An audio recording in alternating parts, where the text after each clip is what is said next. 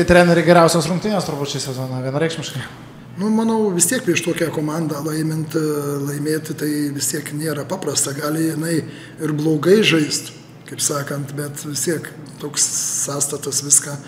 Neblogus, aš galvoju, rungtynės mūsų buvo ir, ir su kėdainės, tik tai buvo ten tokių, kaip sakant, daug klaidelių.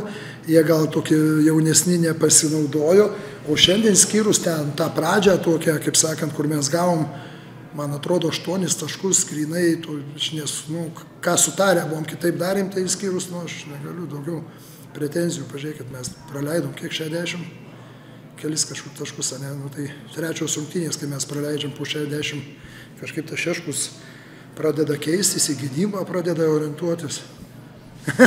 Būtent kitas klausimas ir turėjo būti apie, nuo kada Jonava patapo gynybinio komandą.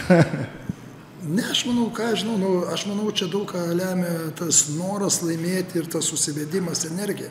Pažiūrėkit, mes šiandien kiekvienoje aikštelėje, išskyrus, sakau, pradžią, kiekvienoje aikštelės vietoje mes daugiau rodėm noro. Perimti kamuoliai, aidas, dvigubin, aš sakiau šiandien ryte ir vakar, kai ruošėmės, sakau, einam, rizikuojam, tagu jie galvoja, ką, kaip mes rizikuosim, tagu jie galvoja, kaip įspręsti tą problemą.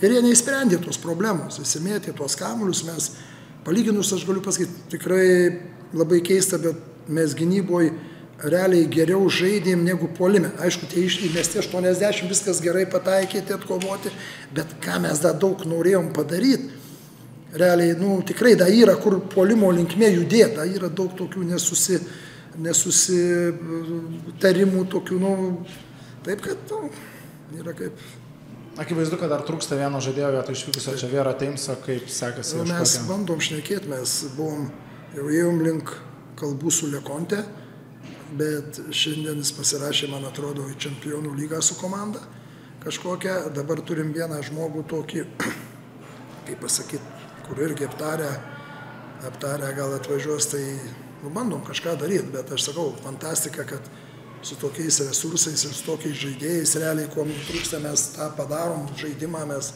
išnaudojam savo gerasias tas savybės, tas turi tą, tas tą, tą, nu, vėl šiandien, pažiūrėkit, visi žaidėjai ten apie 10, 14, 11.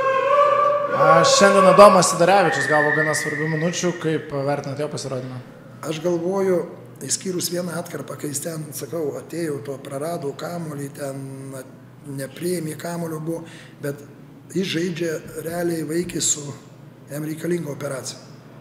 Jau dabar reikalinga operacija su įtvaru, žaidžia ir jis mums kiek gali, tiek padeda. Taip, kad sakyt, ar, kaip sakant, gali ir blogai vaikį sužais, aš tikrai negaliu, rungtynėse galiu duoti velnių, bet po rungtynių tai aš tikrai negaliu, negaliu duoti. Nu, sakau, visi gerai, Edvinas gerai, nu, visi, sakau, super. 3 iš 3 startas, tai kur tos Jonavos klubas? Nežinau. Nežinau, kada mes sustosim. Ne, bet esmė, kad tas noras laimėti yra, aš manau, labai svarbus. Aš visą laiką, visą gyvenimą, kiek šnekėjau apie tai, norėt laimėti žiūrovai šeštas mūsų, šeštas mūsų žaidėjas, pažiūrėkit, jis po trečio kėlinio pradėjo skanduoti, mes laimėjome. Aš pasižiūrėjau. A, paminėjot, kad Vilkai tarsi ir nežaidė gerai, nesusidarė įspūdis, kad varžovom šiek tiek trūko fizinį jėgų, kad pranokot jos būtent savo fiziniu pasirengimu, jėga, fiziškumu. Man iš pat pradžių buvo, kai jie žaidė pradžią kaip Europos tauriai, tas pirmas rungtynės su kėdainės, matėsi, kad jie truputį, nu, gal truputį, nu, pervargę, kaip sakant, gal tam pasiruošėme viską, nu, kažkas matėsi, bet kai jie sužaidė rungtynės su Utena, aš galvoju, kad jau jie atsigavo, šiandien išnekėjom ir su fizinio pasirengimo treneriu jų ir viską išnekėjom, sako, nu jau mes, kaip sakant, jau atsigavo. Nu, bet šitoj situacijoje, sakau, jie ten tą darėm, labai mes ką susitarėm, realiai, nu, galiu pasakyti, tikrai skyrus pradžią mes ką darėme, žaidėjai, būna klaidų visą laiką, bet tikrai daug kur padarėm, ką, kur matė dvigubinamas visur, mes viską buvom sutarę. Ta dalyką, tai man, sakau, labai keista daugiau išėjo, ką susitarę gynyboje negu puolime. tiek, tiek, tiek žinių. Na, visų pirma, noriu pasveikinti Virgį ir Jonavos komandą su pergalė. E, tikrai žaidė pasiaukojančiai, tą mes matėme aikštelį, kovojo dėl kiekvieno kamulio, ką nepasakysiu apie mūsų komandą. Truko kovingumo, tą rodo ir skaičiai, pralaimėjom ir e, atšokusius kamuolius, pripynėm 21 klaidą, su tokiais skaičiais yra sunku laimėti.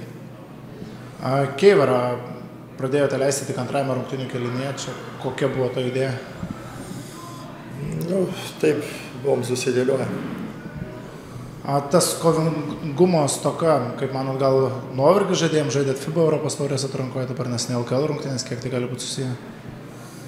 Na ne, dar pasakysiu, po gerų rungtynių seka prastos rungtynės, net nesuprantu, kaip prieimas prie rungtynių individualiai, kaip jisai atrodo, nes perėtės rungtynės pranokom savo energiją, savo norus, šiandien aš to nemačiau aikštelėje E, ta kelionė nebuvo ilga, kad mes būtume pavargę ar panašiai. Nesuprantu, kažkaip nepasiruošę e, rungtynėmo. Ar po tokių rungtynių galbūt išriškėja sudėties kažkokios problemos, kur reikėtų stiprinti? Taip, mes turim tų problemų, bet dabar turbūt nelaikas kalbėti, mes jas pasispręsim eigoje. Bet šiuo metu taip mums trūksta žaidėjų. Kiek problema šiandieną tapo gynyba nuo varžovų polimo tranzicijoje? Na, gal nebuvo ta didelė problema, kaip tikėjomės, e, kaip paprastai žaidžia Jonava, e, bet kadangi pripinėm, kaip minėjau, 21 klaidą, dar nekalbu apie pataikymo procentą, kur iš vis nesugebėjom iš pokrepšio įmesti, e, suteikėm daug šansų bėgti ir to pasinaudojo Jonava ir gal produktyviai.